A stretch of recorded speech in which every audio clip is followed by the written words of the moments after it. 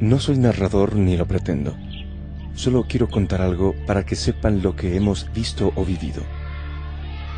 Quiero escribir algo para que quien vea este video constate lo que hacen los misioneros y tal vez decidan ser uno de ellos o por lo menos ayuden con la oración. Y es entonces cuando surge la idea de Sudán, Etiopía y otros países. Encuentro al padre Kitsito, quien hace ya años había empezado a recoger a niños de la calle y darles cobijo. Unos hermanos me explican su actividad de acompañar al pueblo turcana que emigra de un ambiente tan inhóspito a una semiciudad,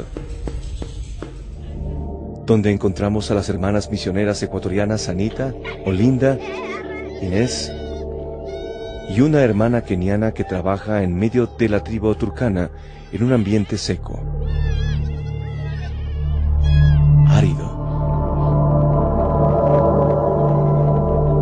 también encontramos a los misioneros en esta etapa de transición ayudando al pueblo con escuelas, colegios y cosas necesarias para quien ha vivido siempre en el campo, sin comunicación y casi sin contacto con otras culturas.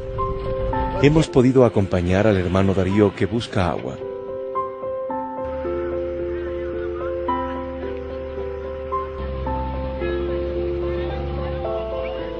Ha hecho casi 300 pozos para que la gente pueda sobrevivir.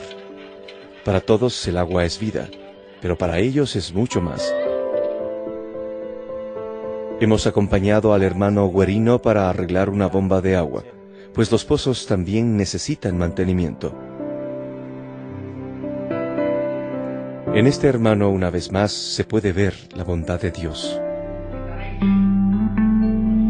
El padre Pancho, misionero mexicano, se convierte en nuestro asesor y nos enseña todo con buen sentido del humor.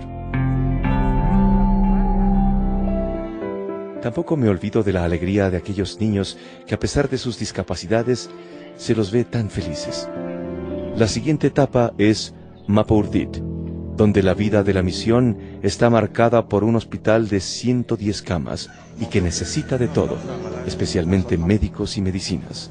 Y en todas partes, un tema que no cambia, la extrema pobreza que permite comer solamente una vez al día.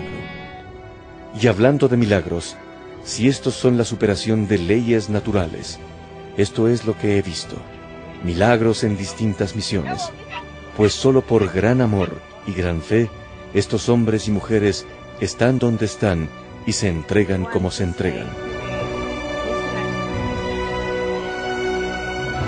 En resumen, un milagro de amor y fe.